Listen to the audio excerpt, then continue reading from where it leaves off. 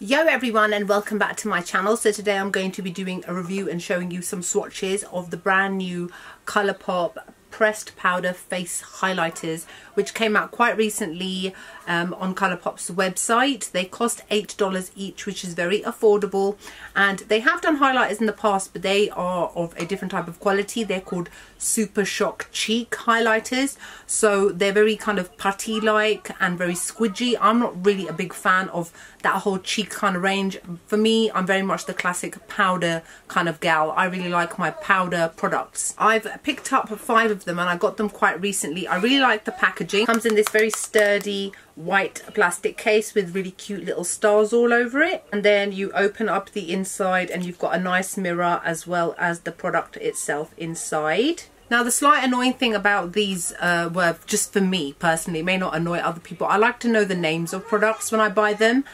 Um, I apologise for that sound, that's my niece. I'm in the garage nowadays, nothing I can do. It's a very hot day. As you can see, this is sweat. This isn't even necessarily highlight. It's highlight mixed with sweat. So everybody's in the garden and the door's open and I'm sweating in here, but I've got no choice. So I apologise. I'll try and talk over her.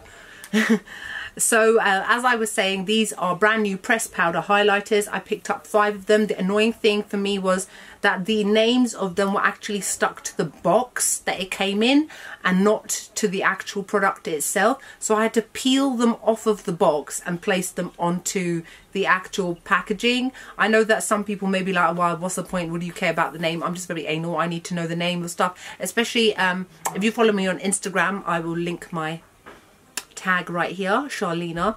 You will see I do face of the days often. I share all the products that I use on my face and in order to know what I'm wearing, this comes in handy. Now, in terms of the qualities of these, they all seem to be slightly different. Now, I do have to compare them to the other highlighting palette, which is called Gimme More. I think it was a palette of six.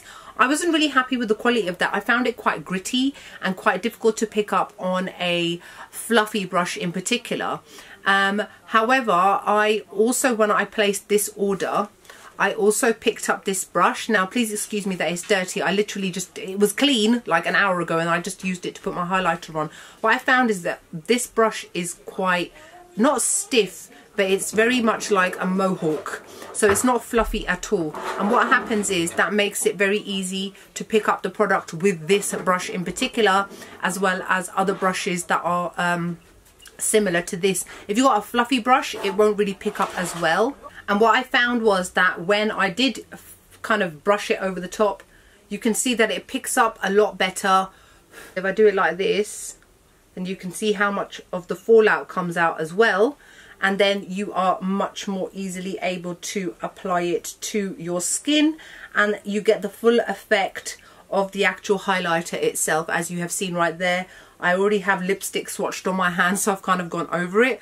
But you can see the overall effect. Now if you were to use other brushes which are more softer it would pick up a lot more with a lot more difficulty. So that's just something to bear in mind with these highlighters and I do have to say that some are a little bit more gritty than others. The one that I actually just showed you, which was called Go Honey, is actually quite soft and buttery.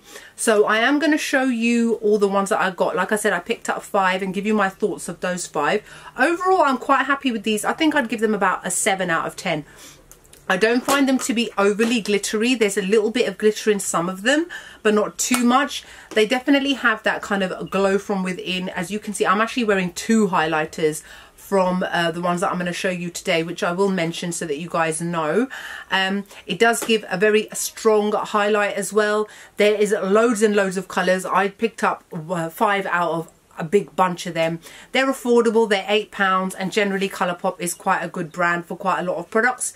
So I'm not too unhappy with these. I do have to say that I've got all of the face powder duos, which is a blush and a highlighter, and I found the quality of those to be different and better than these ones. Not that these ones are dreadful, it's just that those ones are a lot better. Just as I was about to show you guys the highlighters, I realised that they were all labelled incorrectly. So this is the whole thing that really annoys me about Colourpop and I've mentioned that in previous videos about their slapdash not really caring so much about how they label their products, how they put them in the wrong boxes. I've received things which are ultra matte lips, but they're in ultra glossy lips. I know to some people that's not that, such a big deal, but to someone like me it is. I'm a customer and I expect everything to be 100%. Now, as I was about to film or continue doing my review for you guys, I noticed I would have been saying this is this, but in fact it was actually something else. It's because they labeled it incorrectly and I would have been giving you incorrect information. So I've tried to do it the best I can from using their website, but I do apologize if I uh, give the wrong name, that would be down to them and their poor labeling. So this first one here is the one I showed you earlier. It's called Ruffle My Feathers and this as you can see over my stained hands is a gorgeous yellow gold shade. This would look amazing on all skin tones but in particular medium and deep. And this next shade is called here kitty kitty. And this is a beautifully textured buttery textured warm ivory shade. This shade is called boy next door. And this one is a light gold and this one I would definitely say is one of the ones which is a bit more textured a little bit more bits and pieces and more difficult to apply but I love the colour. This shade is called Go Honey. This shade is probably one of the worst performing ones. I even applied two swatches and it is a bubblegum pink colour but it's quite sheer. This is one of the ones where you'll definitely have to build it up with the fan type brush that I showed you earlier. This shade is called Total Package and this one is a beautiful buttery soft rose gold shade.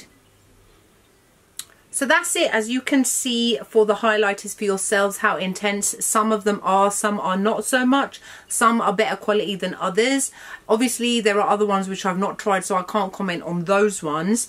But the ones that I wore on my face today was a total package and I mixed it with this one called Boy Next Door. So it was the golden one which was in the middle. So two fairly intense shades, little bit bits and pieces but still easy to apply and to get an amazing highlight as you guys can see.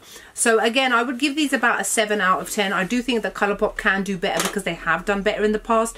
I really prefer the kind of buttery consistency because it gives a really nice luminous glow.